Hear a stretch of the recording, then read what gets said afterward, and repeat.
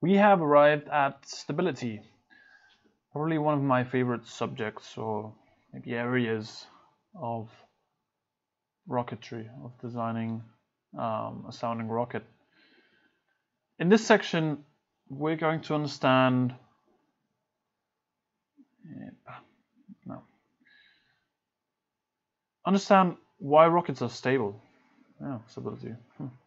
Why rockets are stable. We're going to see the dynamic response of a rocket when it when it finds a perturbation. So we're going to model the dynamic response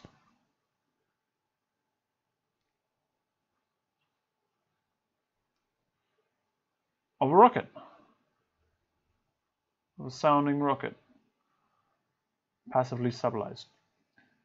This means, well, what happens if the rocket is flying happily and suddenly it finds wind, crossover wind. So what's it going to do?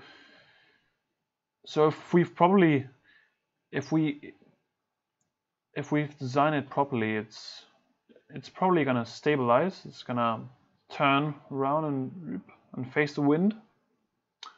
If this angle is not too large, of course, which we call the angle of attack, we're gonna take a look into that in a moment.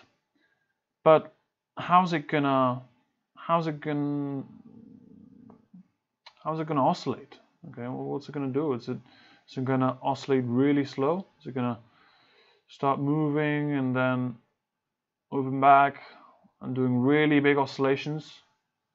Or is it going to just turn super quick and then face the wind? What's it going to do? Um, so this is the dynamic response of a rocket when it finds a perturbation. We're also going to understand how to correctly design uh, a stable rocket. So after all, we're designing the airframe here in, in, in stability. Um, so let's put correctly correct design in terms of stability. Uh, let's put a stable rocket.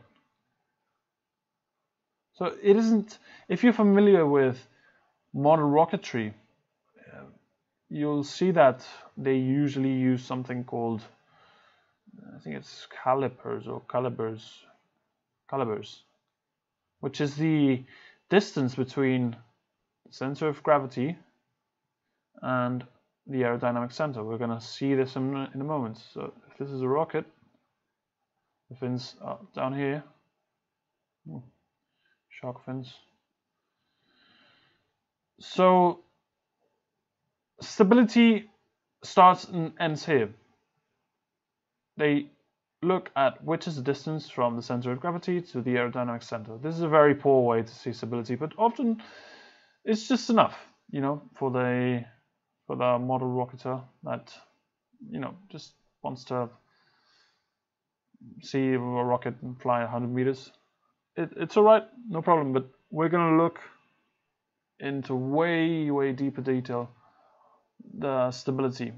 Okay, and in this section, there's a lot of stuff that you're not gonna find in any books. It's just stuff that I have derived uh, to understand in further detail stability and so we we're going to take a deep look into stability okay and in this section and maybe we're also going to discuss, for example, why Stratos 3 might have might have um, you know had an anomaly in the flight and and destroyed was it was destroyed in in 20 seconds after liftoff. It, for the ones who are not familiar with Stratos 3, this was um, this was a rocket that was designed and manufactured by Dare, which is a which is a student rocket group from TU Delft.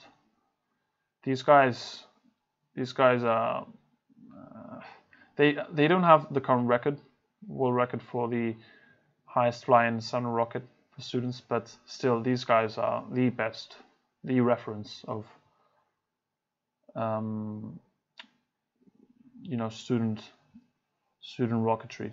So these guys, um, I think it was maybe June or some. Well, last summer they they attempted to.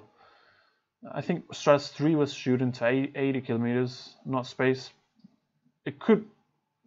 I think the range was pretty wide. They, if they were lucky, they, they would have reached space. So they they weren't sure about which.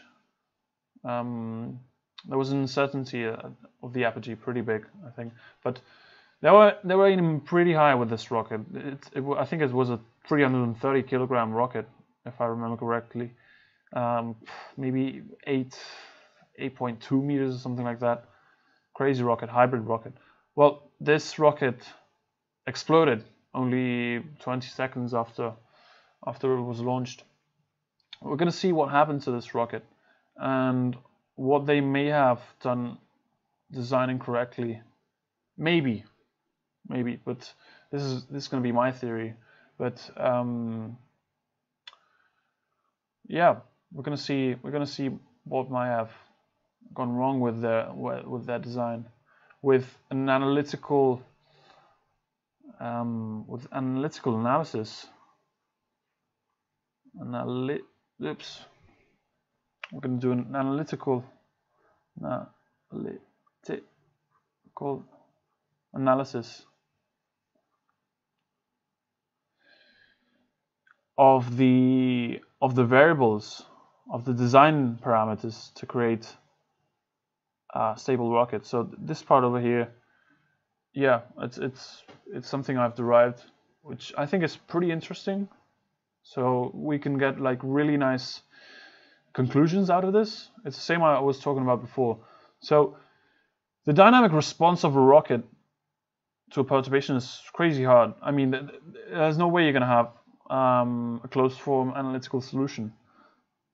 Um, you can still simulate it. It's you know simulating it is is definitely possible. And, um, but again, with a simulator, you can't have the feeling of you know what's gonna make a rocket more stable. What's gonna you can't just play around with variables and and get a feeling of what's gonna make a rocket you know respond this way or another way. So this analytical analysis um, is going to be pretty powerful, I think.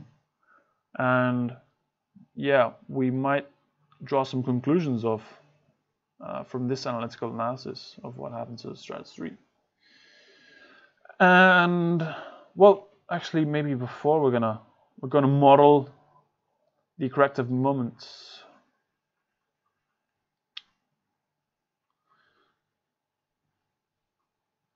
So this is a torque that the rocket does to correct this path and and kill out the you know this angle of attack, this perturbation. So to model a corrective moment, this after all what this means is uh, modeling the normal force, which we saw before, and its point of application, which is the aerodynamic center. So I hope with this introduction um, this introduction motivates you to, you know, to go ahead and and you know watch these videos about stability with a little bit of you know excitement. so some parts are gonna require. Um, I mean, it's it's gonna be nice if you know a bit of control theory to understand dynamic response. It's not mandatory, but it's going to help control theory. Okay, so we're going to see that the rocket behaves like it's a second order second order system. Second order system. And you see how a second order system behaves in normally in, in control theory. Or, or yeah they sometimes call this different but um, it's not mandatory to understand the dynamic response but it's going to help. So just just a heads up. And for the rest uh, you're just going to be good with I don't know standard calculus just a feeling of physics nothing nothing special all right? So good luck and let's go